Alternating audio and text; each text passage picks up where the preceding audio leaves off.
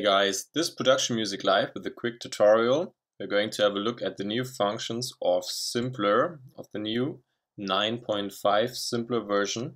From this drums group over here, I've sampled this audio loop. So this drums group from our laser template down here, it actually sounds like this.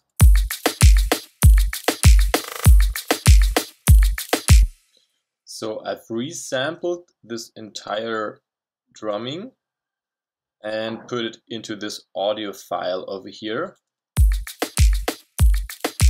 And now I'm going to open up a new MIDI track and um, note that I'm loading by default, I'm loading some of those devices that I'm going to need anyways.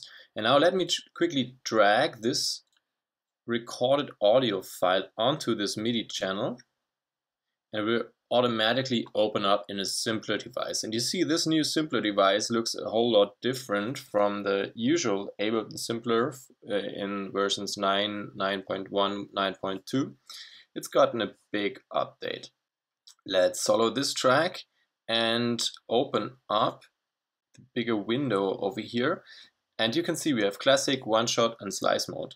I'm hitting slice mode now and you see with this drum loop in here, we, we are getting a lot of slices now. Slices can be adjusted with the sensitivity knob over here. If I go down with the sensitivity, there are less slices.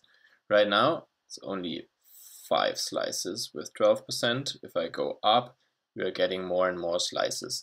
If I now hit my keyboard I can play around with those slices of this drum loop. That's pretty cool for live sessions, but it's also very nice for quickly editing drum loops you're loading in and making something completely different out of them. For example, I have prepared this little MIDI clip over here.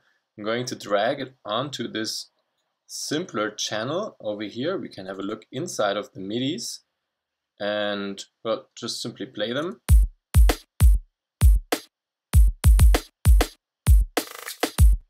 And you see all those slices are getting their own node over here.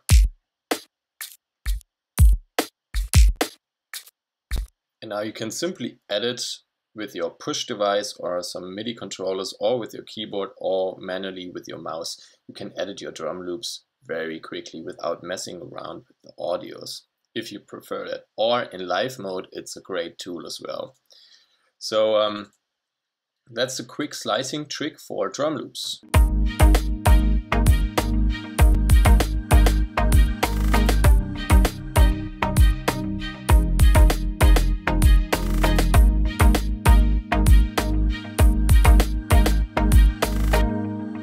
So I hope you enjoyed this quick tutorial. Subscribe to our channel, check the description for templates and drum sounds, and I hope to see you next time.